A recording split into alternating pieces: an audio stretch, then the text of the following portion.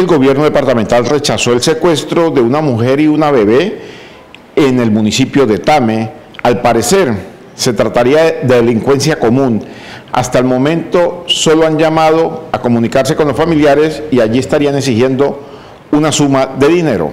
Para las autoridades, el secuestro de una mujer y su bebé de tan solo tres meses de nacida en la vía que comunica el municipio de Tame con Arauca, al parecer es con fines extorsivos. Bueno, esta familia se transitaba entre la ruta de Arauca y Tame, en el, cerca del sector de Betoye, Flor Amarillo, y fueron interceptados por dos sujetos en una motocicleta, quienes amenazaron, eh, hicieron detener el vehículo, amarraron al esposo de la señora y posteriormente eh, hacen llamadas extorsivas solicitando dinero para su liberación.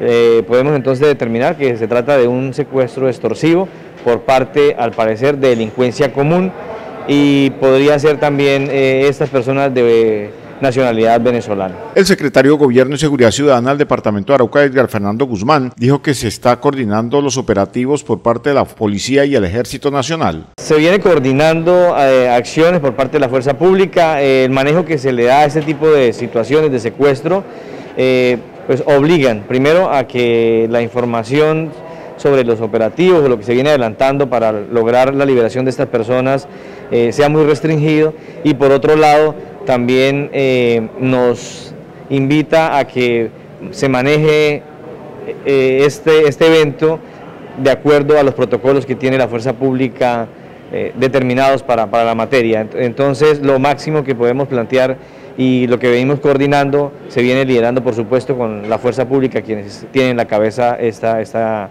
información y el operativo que se viene adelantando. El jefe de la cartera política del departamento rechazó el secuestro de la mujer y su bebé en Tame, pero los delincuentes estarían presionando a su familia con la bebé. Es lamentable que, que estos delincuentes eh, hayan eh, utilizado, pretendan utilizar eh, a esta bebé como un mecanismo de presión a su señora madre un mecanismo de presión ante la familia para exigir entonces el pago de, recompensa para ellos. No hay límites, ¿no? definitivamente no hay límites, esperamos que respeten su vida, esperamos que las autoridades logren lo más pronto posible eh, dar con la libertad de estas personas y que quienes están haciendo esas actividades eh, delictivas pues paguen por sus hechos.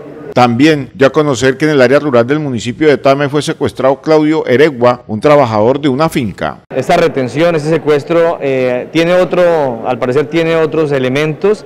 Eh, ya está más dirigido al posible accionar de un grupo al margen de la ley. Eh, se está determinando por parte de las autoridades a quién corresponde y, en vista de qué se está presentando esta situación, si hace parte del medio de confrontación que se está desarrollando en el departamento en los últimos días. Las autoridades se encuentran realizando operativos en la Cuna de la Libertad con el fin de dar con los delincuentes que secuestraron a estas tres personas.